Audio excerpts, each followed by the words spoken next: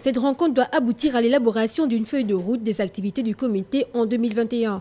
La protection de la couche d'ozone requiert l'attention des parties prenantes au vu des effets climatiques actuels. Aujourd'hui, les efforts de protection de la couche d'ozone constituent le symbole de la réussite de la coopération internationale et multilatérale. Aussi, nous devons maintenir notre action au risque de voir les efforts engagés anéantis.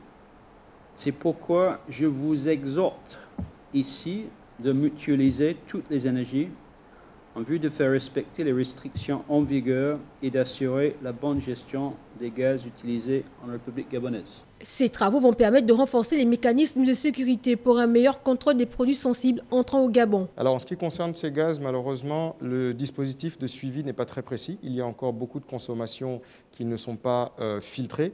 Et donc l'objectif justement de cette réunion à laquelle l'administration des douanes participe est de pouvoir mettre en place un système qui va véritablement contrôler toutes les importations et nous permettre de connaître exactement toutes les quantités de gaz qui rentrent au Gabon en 2021. Nous sommes dans la décennie 2020-2030, euh, qui est l'horizon à travers lequel certains de ces gaz doivent être totalement interdits d'importation, de mettre en place le plan de travail qui va guider et organiser la réponse de notre pays à cet engagement international. La couche d'ozone est indispensable pour la survie de la planète car elle nous protège des rayons ultraviolets.